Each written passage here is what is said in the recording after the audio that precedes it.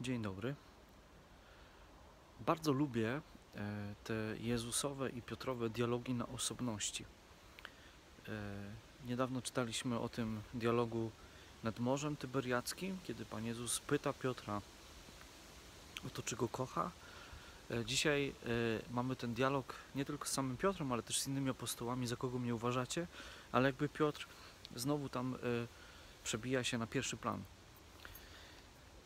Zawsze są te kumary. Y, Piotr to jest taki człowiek, który tak naprawdę wszystko zbudował na Jezusie.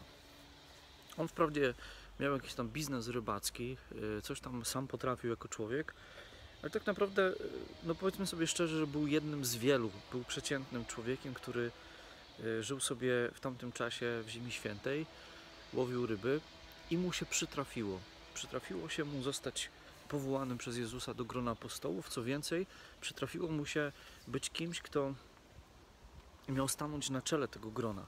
Chociaż sam, y, jak o sobie mówi, jest y, mało wykształcony, y, mało znaczący, tak naprawdę trafiła mu się niezła, niezła fucha, mówiąc językiem współczesnym.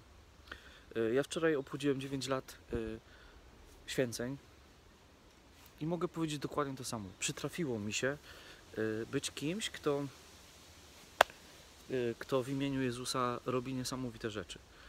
Y, Sam z siebie jestem nikim. Y, To, co często przeciwnicy moi jakoś podkreślają, y, słaby intelektualnie, y, nie mający specjalnych zdolności, brzydki, gruby, łysy, szczerbaty, y, a jednak przytrafiło mi się coś niesamowitego. I Pan Jezus dzisiaj w tej Ewangelii mówi o tym, że nie objawiło Ci tego ciało i krew, człowiek, tylko Bóg. Objawił Ci to ten, który jest y, najwyższym, tym, który jest y, po prostu jest Bogiem, masło maślane. I tak samo jest w moim życiu, że sam z siebie nikim nie jestem.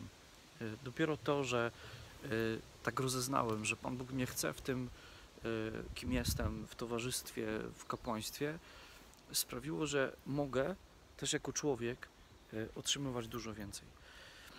Mówię o tym, żeby Ciebie też zachęcić, żebyś dzisiaj popatrzył, żebyś popatrzyła na swoje życie i zobaczył, że, y, że dużo rzeczy Ci się przytrafiło, że y, wiele jest w Twoim życiu takich sytuacji, które tak naprawdę są niezasłużone, tak naprawdę y, trafiły się nam jak, nie wiem co, jak na loterii po prostu. Twoja żona, Twoje dzieci, Twoja praca, może nawet Twoja choroba. Zobacz, że to, co, to kim jesteśmy, to, co robimy, ale one gryzą, y, to jest niesamowity dar.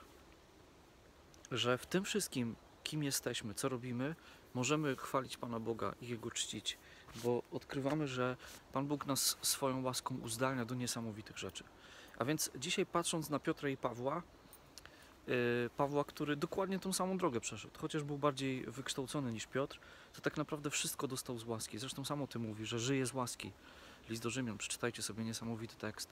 Yy, Piotr i Paweł to ci dwaj, którzy pokazują mi dzisiaj, że to, kim jestem, to, co mi się przytrafiło, jest niesamowitą łaską i że mogę się z tego cieszyć.